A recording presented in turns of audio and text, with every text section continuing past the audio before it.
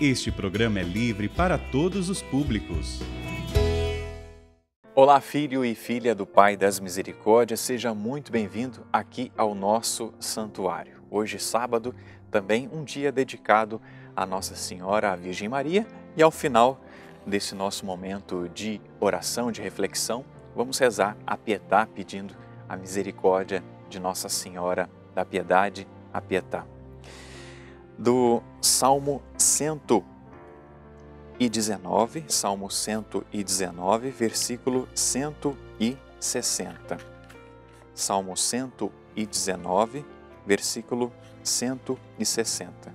Lembrando que nesses dias nós temos meditado também o Catecismo da Igreja Católica e depois eu quero ler um trecho aqui para você do parágrafo 215. Mas a leitura de hoje, parágrafo 160 desse salmo que, que é bem longo, né? o Salmo 118, diz assim: O resumo da tua palavra é a verdade. São para sempre as tuas normas. Deus, ele revela a verdade, Deus, ele é a verdade. Diante de tantos nomes de Deus, do único Deus, um dos outros nomes e do como ele se revela, ele se revela como a verdade. Neste nosso mundo, né, onde a mentira muitas vezes predomina para que é, se ganhe algo, para que se tenha vantagem em alguma coisa, quantas vezes a mentira acaba é, é, prevalecendo? E vamos nos lembrar que lá no livro do Gênesis também houve uma mentira por parte da serpente, onde ela enganou, não é, os nossos primeiros pais, enganou Adão, enganou Eva, e eles também ludibriados pela mentira, com o desejo de ser Deus, de ser como Deus, infelizmente também mentiram, também enganaram. Não, não, não fui eu, não, foi a mulher que o Senhor me deu. E a mulher quando foi questionado, não, foi a serpente. Ninguém quis assumir o seu erro. É um problema, não é, minha gente? A mentira, de fato, ela, ela acaba acarretando outros pecados. A falta de responsabilidade. Então, a mentira é um grande mal que nós devemos combater. E Deus se revela como Deus da verdade. No parágrafo 215 do Catecismo da Igreja Católica, diz isso o princípio da tua palavra é a verdade. Tuas normas são justiça para sempre. Sim, Senhor Deus, és tu que és Deus. Tuas palavras são verdade. É por isso que as promessas de Deus sempre se realizam. Deus é a própria verdade. Suas palavras não podem enganar.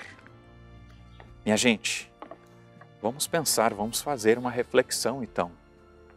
Neste dia, neste sábado que nós estamos vivendo, Deus, Ele é verdade. E vamos nos lembrar que Jesus também se apresentou assim, não é? Em, no Evangelho de João, capítulo 14, versículo 6. Eu sou o caminho, a verdade e a vida. Ele é a verdade que veio ao mundo. Ele é a verdade que veio confirmar a verdade que se revelou aos antepassados, aos profetas. Deus, Ele é Pai, com o seu Filho Jesus, com o Espírito Santo, e Ele é a verdade. Façamos um bom exame de consciência neste dia, meus irmãos, para verificarmos se estamos na verdade se nós estamos na verdade, nós estamos em Deus. Se nós estamos na mentira, nós estamos com o inimigo. Você está com o inimigo ou está com Deus? Você está com o inimigo ou está com o amigo? Deus, com o amigo, o Senhor. Meus irmãos, peçamos essa graça por intercessão de Nossa Senhora, a grande amiga de Deus Pai por isso, o Pai, também vendo a verdade nela, confiou a ela a graça de ser mãe do Senhor, mãe do seu filho, que veio para salvar o mundo. Meus irmãos, se nós também vivermos na verdade, Deus vai colocar cada vez mais a sua graça, vai depositar a sua confiança em nós, mas precisamos viver na verdade. Viva na verdade na sua casa, viva na verdade no seu trabalho. Não devemos ser honestos em tudo aquilo que realizamos? Sim. Então é bom que nós sejamos honestos dentro de casa, no trabalho, na igreja, em todo e qualquer lugar. Que a verdade prevaleça, que a verdade, que é o próprio Deus, possa estar em nós em cada relacionamento, em cada situação da nossa vida. E se pela mentira o pecado entrou no mundo, pela desobediência. O pecado entrou no mundo, meus irmãos, através da obediência, através da verdade, a graça também entra. Viva na verdade, viva na graça de Deus, viva na santidade, vivamos, meus irmãos, na verdade.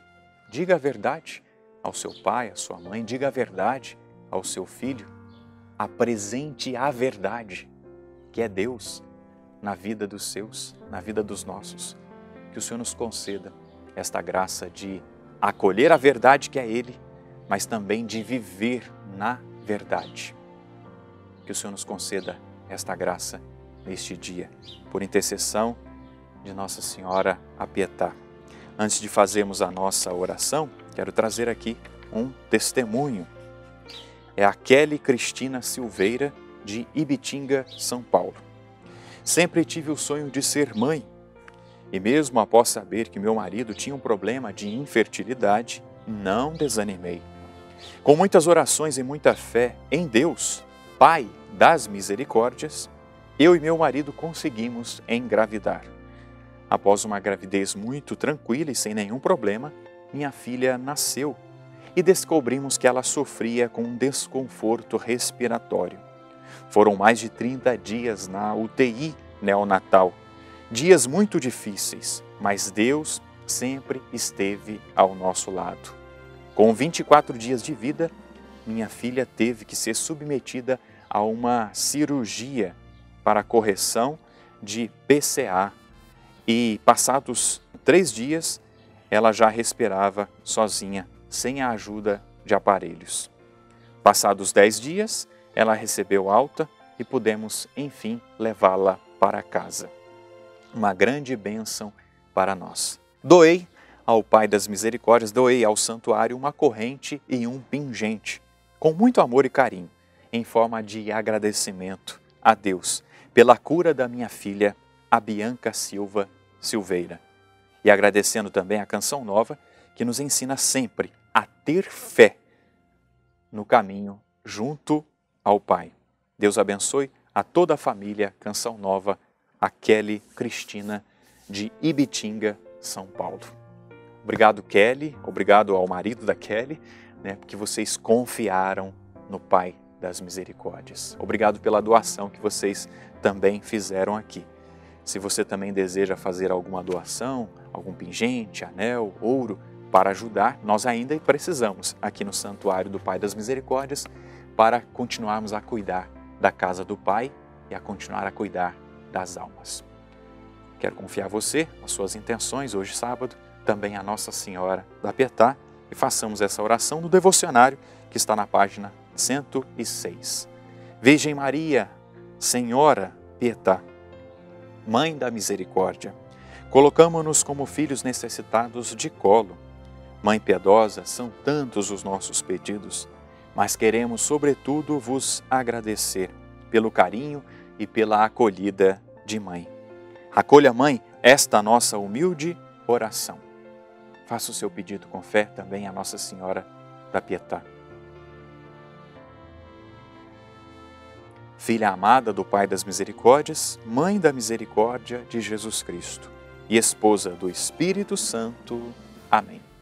Sobre você, sobre as suas intenções, por intercessão de Nossa Senhora Pietá, a benção do Deus Todo-Poderoso, Pai e Filho e Espírito Santo.